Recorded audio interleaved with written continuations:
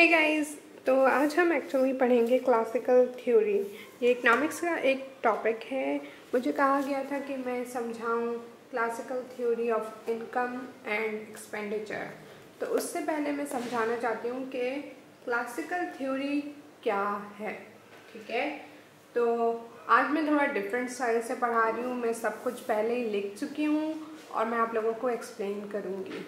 तो आप कमेंट कीजिएगा कि कौन सा वे ज़्यादा बेहतर है, वो जिसमें मैं लिखती हूँ और फिर समझाती जाती हूँ, या वो जिसमें पहले से लिखा हुआ है और मैं समझा रही हूँ, ठीक है? तो क्लासिकल थ्योरी अब ये थ्योरी इसकी बेसिस बेसिकली हुई थी एडम स्मिथ से। एडम स्मिथ ने कहा था कि मार्केट में एक इनविजिबल हैंड है, जो हर चीज़ को एडजस्ट कर देता है।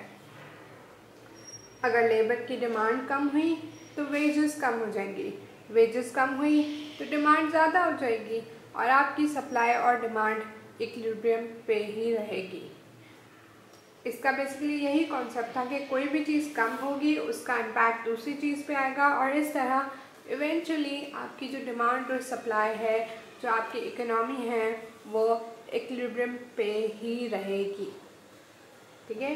इनविजिबल हैंड किसी को कुछ नहीं करना, इसमें ये मना करता है कि गवर्नमेंट कुछ करे।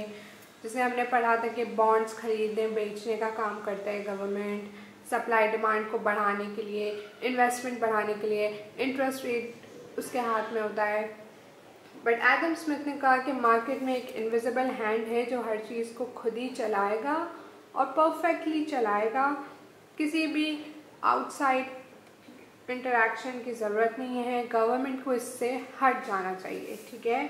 तो यही है कि सेल्फ एडजस्टमेंट मैकेनिज़्म है। एक चीज़ बंद हुई, दूसरी चीज़ उस हिसाब से एडजस्ट होगी और वो इक्विलिब्रियम पे फिर से आ जाएँगे, ठीक है? अब मैं एक बात कहना चाहती हूँ कि ये थ्योरी अभी भी अवेलेबल है। बहुत लोग इस पर बिलीव करते हैं, लेकिन इसके अंदर ऑब्वियसली बहुत सारी चेंजेस हुई हैं।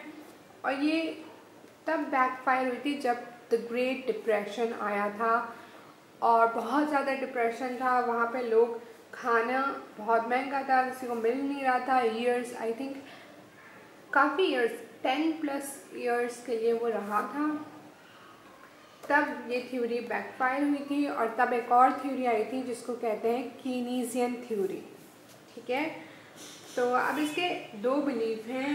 ये थ्योरी दो बिलीफ्स पे काम करती है। पहला है सेज लॉ ठीक है when the economy produces a certain level of real GDP it also generates the income needed to purchase that level of GDP इसका आर्ग्यूमेंट क्या है कि अगर मैं ये मार्कर बना रही हूँ और मैं ये बेच रही हूँ तो मेरे पास ऐसे मार्कर्स जितने मैंने बनाए और बेचे तो वो इनकम मेरे पास आ गई है कि मैं और चीज़ें जो बनी हुई हैं दूसरे लोगों से, वो ख़रीदूँ, ठीक है?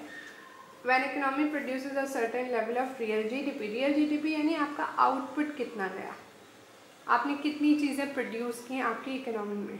तो जब हम एक सर्टेन लेवल प्रोड्यूस करते हैं प्रोडक्ट्स का, वो इनकम भी बनाता है कि हम वो चीज़ें ख़रीद सकें। ठीक है? लेकिन लेकिन मसला ये है कि हर बंदा अपनी पूरी इनकम स्पेंड नहीं करता सेव भी करता है। अब इसमें ये लोग एक और आर्ग्यूमेंट देते हैं कि अगर वो सेव करता है, वो सेविंग आपकी इन्वेस्टमेंट में जाती है, बेशक। लेकिन अगर उस बंदे ने बैंक में सेव ही नहीं किए, आपने अपनी तिजोरी में रखे हुए हैं आपने अपनी पेटियों में और इन सब चीज़ों में बॉक्सेस में रखे हुए हैं पैसे अपने तकिए के नीचे रखे हुए, वो कहाँ इन्वेस्ट हो रहे हैं? वो तो इन्वेस्ट नहीं हो रहे। तो इसमें एक हद तक ये सही है बट ये इन जगहों पे बैकफायर करता है ये वाला लॉ ठीक है? और दूसरा बिलीफ बेसिकली इनका है कि जो है फ्लेक्सिबल होते हैं इंटरेस्ट रेट वेजेस और प्राइस ठीक है? अब इसमें इन्होंने कह दिया कि इकोनॉमी जितनी चीज़ें बनाती हैं, वो इतनी चीज़ें ख़रीद भी सकती है। उनकी डिमांड उतनी ही हो सकती है और वो इक्विलिब्रियम पे ही रहेगा, ठीक है? लेकिन मैंने आपको बताया यहाँ पे क्या बातें हैं जो उसको बैकफायर कर सकती हैं।